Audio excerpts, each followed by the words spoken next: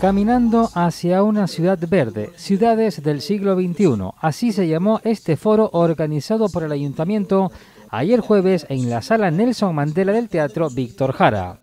Está claro que vivimos un momento de emergencia climática, todo el mundo está hablando del cambio climático, pero uno de los aspectos que más incide en, que el cambio climático siga avanzando eh, es sin duda alguna la movilidad, no la movilidad sostenible que quisiéramos, sino la movilidad insostenible. ¿no? Por poner un ejemplo, en Canarias hay en torno a 700 coches por cada mil habitantes y en cambio en otros sitios eh, parecidos, por ejemplo insulares como Mallorca, hay 400 coches por cada mil habitantes. Este evento forma parte del plan de acciones de concienciación y sensibilización que el ayuntamiento está llevando a cabo bajo el lema Santa Lucía Estación 2030. Es por ti, es por todos. La previsión del aumento de la población urbana de aquí a 2050 acarrea consigo un incremento de los desplazamientos motorizados, con lo que también aumentarían las emisiones de CO2. Por esta razón, las ciudades europeas han ido dando un giro en los últimos años hacia una movilidad sostenible. Y ciudades como Ámsterdam, Copenhague, París o Viena son un claro ejemplo de ello. Una de las claves en el desarrollo de las ciudades como espacios para convivir en armonía y de forma saludable es la movilidad. Este grupo de gobierno lleva tiempo trabajando en la mejora de la movilidad y lo estamos haciendo contando con la ciudadanía, como no podía ser de otra manera. La siguiente acción medioambiental enmarcado en este programa será una reforestación el próximo sábado 13 de noviembre en el Barranco de los Llanos y otra para el día 27 de noviembre en la playa de Pozo Izquierdo.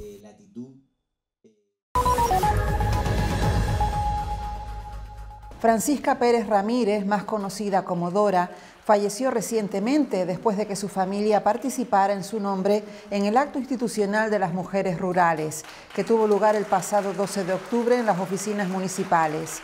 Este año el ayuntamiento quiso homenajear a cuatro mujeres que habían trabajado en los molinos de Gofio. Olga Torres Gutiérrez, Olguita, Concepción Pérez Vega, Mamá Conchita, Dolores López Pérez Lolita y la malograda Dora.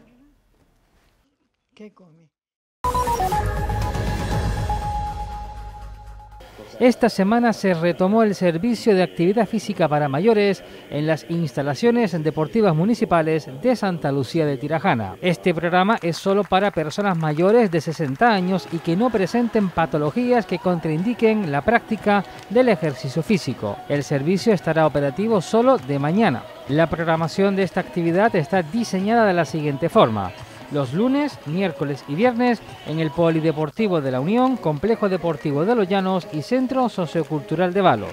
Y martes y jueves en el Centro Polivalente de la Orilla, Pabellón Municipal de Deportes y Polideportivo de Sardina del Sur. Habrá que realizar inscripción previa en las propias instalaciones deportivas. El lema escogido este año por la Concejalía de Deportes es Sigue moviéndote, no dejes que tus excusas te alcancen.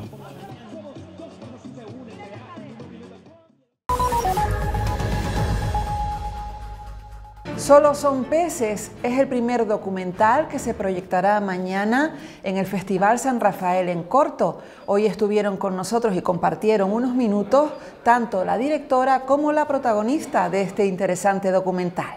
Pues fue una propuesta que nos llegó de la Asociación de Amigos y Amigas de la RAS de Áraba y con la premisa de la gestión del agua en los campamentos. Cuando conocimos la historia de la piscifactoría, eh, la verdad es que vimos claro que era una historia muy especial y cuando conocimos a las tres protagonistas vimos claro que, esa era nuestra historia. El cortometraje es otra vista del cine, que puedes ver muchos, bueno, puedes tener ideas sobre muchas culturas en, en una hora, más que, que no es como una, una película larga o alguna cosa así, sí. Es una idea muy bien participar en esta cosa, también eh, ver y saber conocer gente y culturas diferentes del mundo. La Agencia Cultural de Sardina del Sur cumple cinco años de existencia. El 30 de septiembre de 2016 tuvo lugar la apertura oficial de este centro, que nació para coordinar sus propias actividades junto con las que programa el Ateneo Municipal.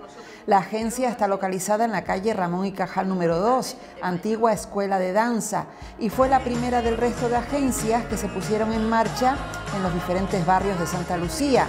Con el objetivo de descentralizar la actividad cultural y dinamizar la creación en los barrios a través de la implicación ciudadana en la realización de estas propuestas.